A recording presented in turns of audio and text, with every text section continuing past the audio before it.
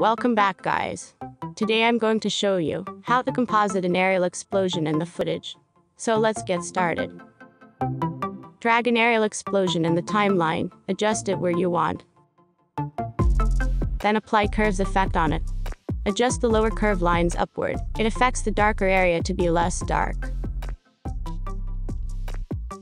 Now convert this footage into a 3D layer and place it in the right position. You can scale up and rotate as you like. Now, apply the levels effect on it and slide the middle point to the left side. It lights the darker part of the smoke in the explosion. The main idea behind this is to match the dark part of the explosion footage to the dark part of the background. Try to match these by sliding level points. After adjusting the smoke color, we need to go for the glow of the explosion. So then, apply the deep glow effect to it, and tweak the exposure value. It varies with the different explosions. We need to apply glow only to the bright part of the explosion. Therefore, we need to animate exposure value on bright parts by making a keyframe on it. This is the traditional method. I have another advanced method for this that I will tell you in a moment.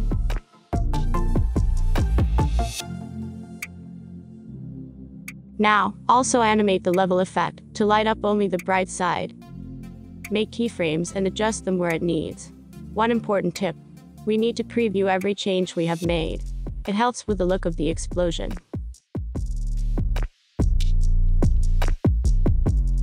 Adjust the keyframe and preview it. Tweak animated value according to your explosion look requirements. Adjust level points as the explosion cooled down. If you are new to this channel, then please subscribe to it. It helps me to make these tutorials.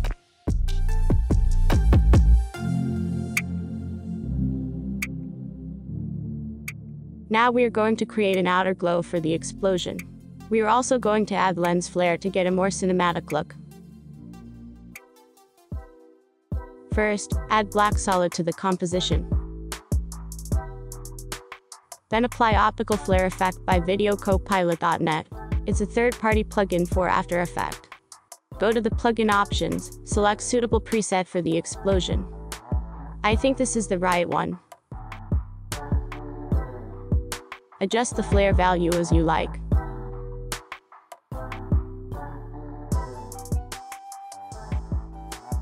Now select the layer and change its blending mode to add or screen. Select the plugin and move the flare point to the center of the explosion. In the plugin, change the color of the flare to bright orange to match the aerial explosion. We need to track this with the explosion. Right now we're doing it by making manual keyframes.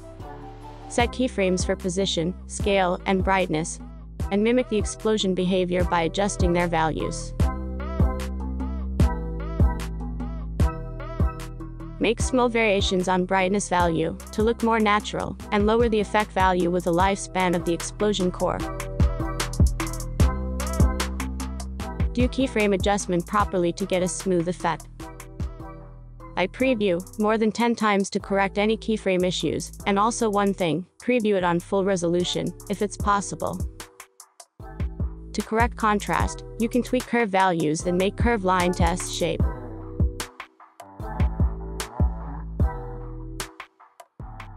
Apply Lumetri color effect on background footage to reduce the red color or the saturation values.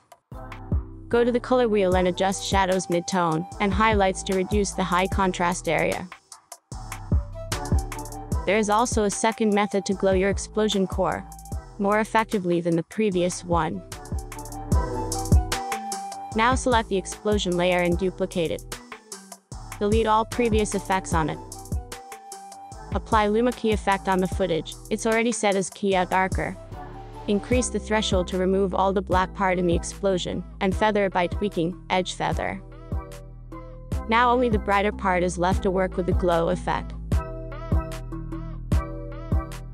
Apply a simple glow effect on it.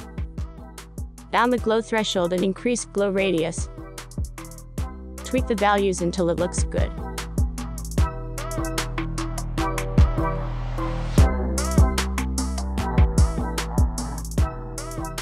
The explosion is quite a long distance, so we need to blur the explosion a little bit. Apply fast box blur effect on it, and blur 5 pixels. Make explosion footage blending mode to add.